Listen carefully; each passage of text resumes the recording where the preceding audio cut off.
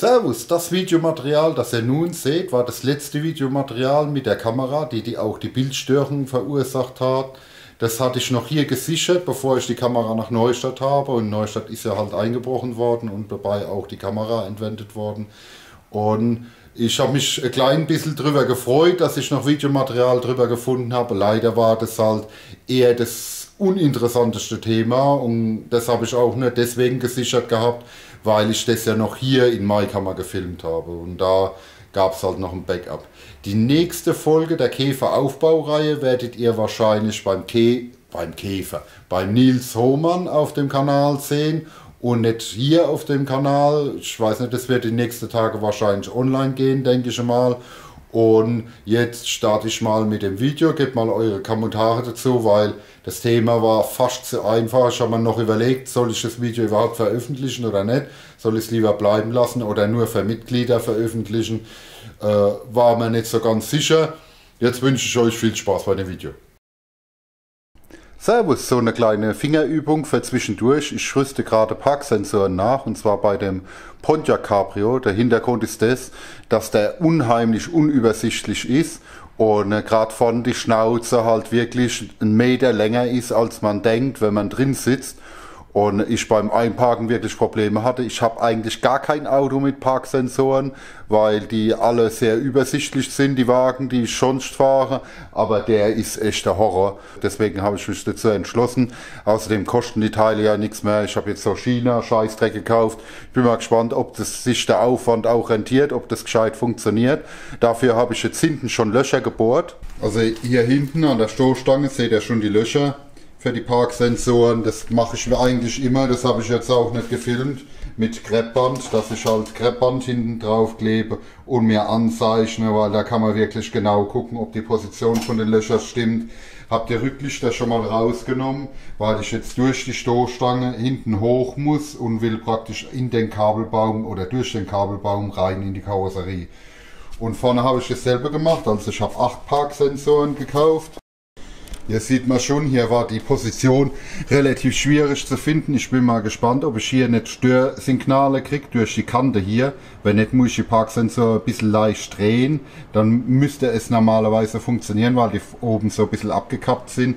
Das Auto ist eh nicht schön, was sie da nachgerüstet haben, weil die haben hier Lichter drauf gemacht und das sind keine Blinker. Ich habe auch erst gedacht, das wären Blinker, das ist das Standlicht. Das mussten die scheinbar nachrüsten, weil normalerweise die Lampen haben zwar Standlicht, aber da hätte man das so verkabeln müssen, dass die Lampen halt offen stehen bleiben, wenn man Standlicht anhat. Und es war scheinbar dem Vorbesitzer oder einer der Vorbesitzer viel zu aufwendig und darum haben die das nicht gemacht und haben lieber da so Lichter reingesetzt. Naja, mir wäre die andere Lösung lieber. Das Verkabeln ist jetzt auch kein so großes Problem, dass die Lichter dann halt aufbleiben, wenn man Standlicht anhat aber äh, es war scheinbar in dem Moment zu anspruchsvoll oder warum auch immer das nicht gemacht wurde. Ne? Schade drum. Aber es ist ja nicht so, dass es die Teile nicht zur Verfügung gibt. Vielleicht ändere ich das irgendwann, wenn ich mal wieder eine rote Schnauze kriege. Die Schnauze hat es eh schon fast hinter sich, weil, wenn man dann genau guckt, hat die auch ist. So, jetzt bin ich gerade dabei, die Parksensoren reinzusetzen. Ist ein bisschen knifflig, weil hier habe ich zwar genug Luft, aber hier an der Seite sitzen so, äh, ja, so Plastikelemente drin, die praktisch den Aufprall, wenn dann Aufprall stattfinden soll, noch ein bisschen kompensieren. Und da muss ich jetzt irgendwie das Kabel hier hochkriegen. Ja, das wird jetzt halt eine Fummelei. Ich werde wahrscheinlich mir jetzt ein Kabel holen, das ich von da oben versuche, hier das Loch zu bringen und dann das Kabel von den Parksensoren da dran klebe und dann gerade wieder zurückziehe. Normalerweise sitzen hier in den Löchern immer so, so Plastikteile, also kann man sagen wie ein Dübel. Und äh, da war original in den vier Löchern nur noch einer drin. Also die muss ich nachbestellen. Da müssen dann nochmal die Rücklichter raus und müssen die rein, weil normalerweise die, ja, die werden schon von der Rücklichter gehoben, aber das ist nicht ideal oder ich muss mir was anderes einfallen lassen, weil so lasse ich es auf keinen Fall, dass es da ungesichert irgendwie da oben dran ist. Ne?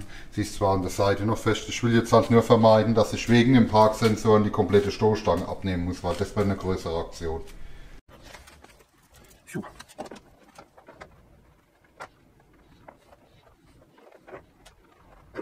Ja, das wird doch ein bisschen fummeliger, als ich mir das gedacht habe.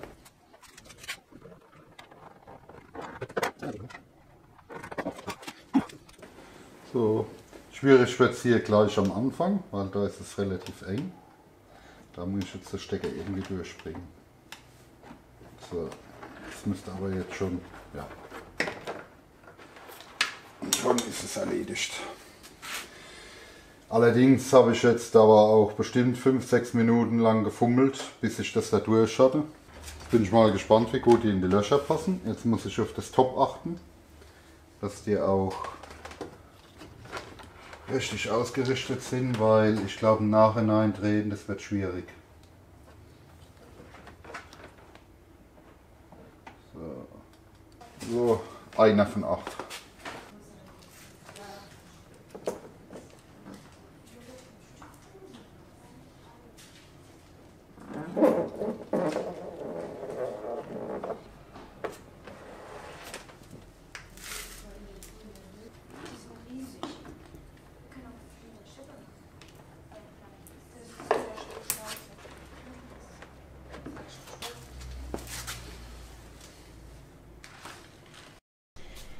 Jetzt habe ich alle vier Sensoren schon mal in der Stoßstange sitzen. Jetzt habe ich wieder Bildfehler. Naja, das geht jetzt trotzdem. Was jetzt wichtig ist, ist, dass ich mir markiere, welche Sensoren außen sitzen, welche Sensoren innen sitzen. Schon stimmt das später mit der Anzeige halt nicht. Und deswegen führe ich sie jetzt nacheinander durch diese Gummimuffe. Die habe ich schon nach innen gezogen, damit ich die Kabel leichter durchführen kann. Und spätestens, wenn sie hier durch die Gummimuffe sind, schreibe ich mir auf, hinten rechts oder hinten außen, äh, Quatsch rechts außen, rechts innen so weiter und so fort, damit ich die später noch unterscheiden kann, bevor ich die Kabel hier richtig reinlege, wie die Kabel vorher gelegen waren. Das war eh so ein bisschen ein Horror, also das werde ich auch noch versuchen, ein bisschen mehr aufzuräumen, das gefällt mir alles so nicht. Und dann muss ich mir noch überlegen, was ich hier mache, wo die ganzen, ja, die ganzen Dübel oder wie man es auch immer nennen will, fehlen.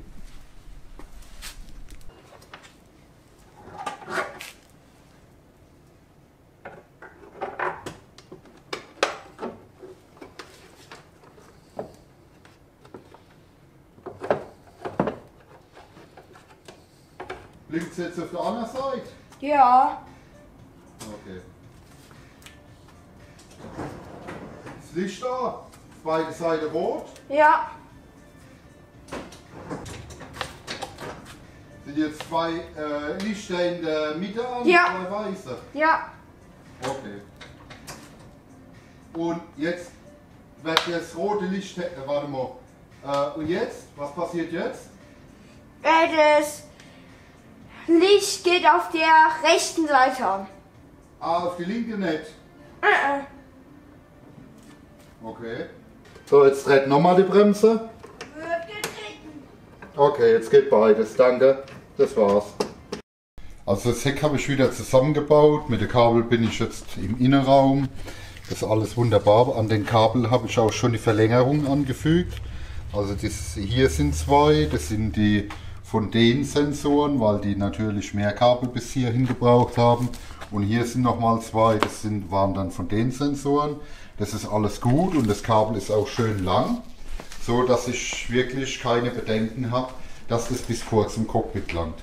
Allerdings waren von den Verlängerungskabel halt nur vier Stück dabei für die hinteren Sensoren und von vorne waren keine dabei. Wer jetzt sich überlegt, wie lang die Schnauze von dem Auto ist und dass die Originalkabel halt von den Teilen von hier hinten nur bis hierher gelangt haben. Ne? Also so, hier geht es durch die Wand durch in dem Rücklicht und so rüber so. Ich glaube nicht, dass die im Motorraum langen bis in den Innenraum rein. Also ich lege jetzt mal das Kabel vor, bis ich vorne halt am Armaturenbrett bin. Und dann setze ich erst die vorderen Sensoren, weil ich habe die Befürchtung, dass ich das Steuergerät von dem ganzen Kram, dort ist hier, in den Motorraum setzen muss. Und das wäre mir eigentlich nicht so lieb, weil äh, die Vibration im Motorraum, die Hitze im Motorraum, das tut der Elektrik nicht, auf die Dauer nicht gut. Also, und anschließen werde ich das auch ganz anders stellen, wie das da drauf steht, weil das gefällt mir auch nicht, aber da komme ich später dazu.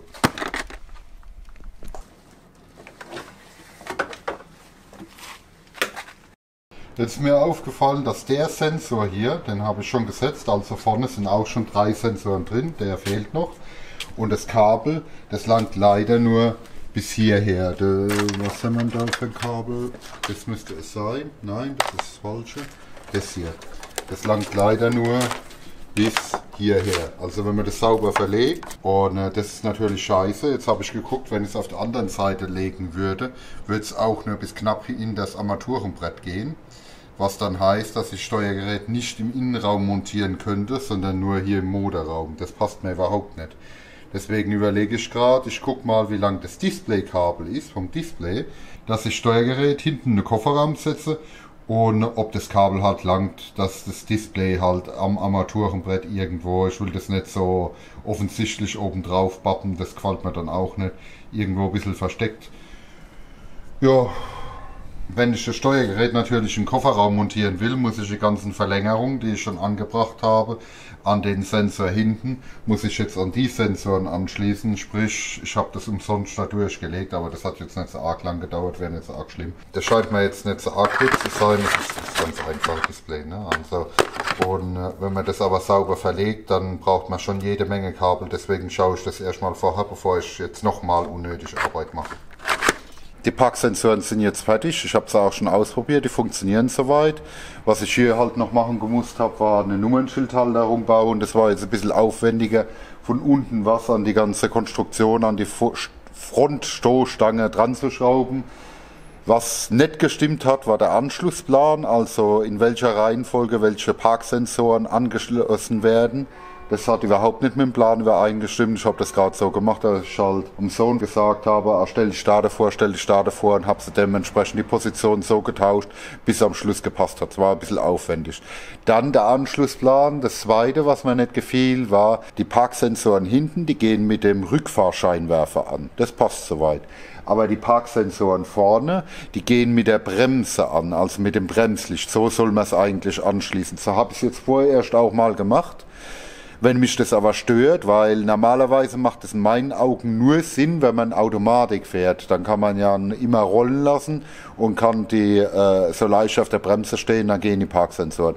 Aber beim Schaltgetriebe, ob das so Sinn macht, das werde ich halt sehen. Wenn das nicht funktioniert, hänge ich das Ganze an die Rückwärtsgangsperre. Also der hat ja eine elektronische Rückwärtsgangsperre und äh, wenn da dann Plus drauf liegt, dann macht die Sperre auf beziehungsweise wenn ich unter 5 km/h mit dem Ding fahre, dann ist die Sperre offen. Dann kann ich auch den Rückwärtsgang einlegen und da macht es eigentlich Sinn, dass die Parksensoren dann an sind. Aber das probiere ich jetzt erstmal aus, ob es mit dem Original-Anschlussplan soweit klappt. Ich muss halt mal ein paar Tage mit rumfahren, einparken, ausparken, mir das Ganze mal anschauen. Tatsächlich das Aufwendigste an dem ganzen Einbau war eigentlich die Kabel durchs Auto legen. Es, von dem das Aufwendigste war, durch die Feuerwand zu kommen, weil ich halt gern den Weg von Originalkabelbäumen entlang gehe. Und ihr habt ja gesehen, dass ich die Verlängerung, die ich erst für die hinteren Parksensoren benutzt habe, dann wieder abgemacht habe, wieder die ganze Kabel rausgezogen habe, wieder an die vorderen Parksensoren dran gemacht, damit ich das Steuergerät halt hinten im Kofferraum habe, weil mir das vorne im Motorraum nicht gefiel. Und das war auch so ein bisschen blöd, weil ursprünglich will man ja sowas eigentlich irgendwo unter das Armaturenbrett packen oder so und es klappt halt mit den Kabellängen gar nicht. Da muss man sich entscheiden, entweder Motorraum oder Kofferraum. Ich denke, Kofferraum ist da eindeutig die bessere Wahl wie Motorraum, wo die ganze Hitzeentwicklung und so weiter ist. Das war's jetzt soweit in dem Video und ich habe schon wieder Bildstörungen und das ist jetzt der beste Zeitpunkt, um sich zu verabschieden. Und tschüss.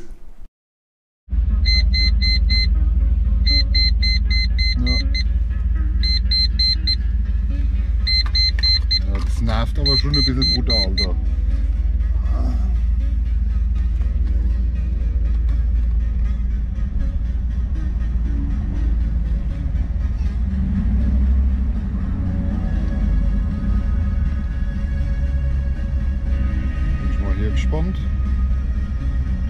Austeste.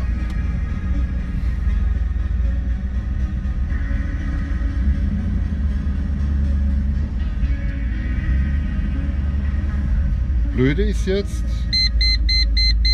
dass das Ding erst anzeigt, wenn ich logischerweise auf der Bremse stehe.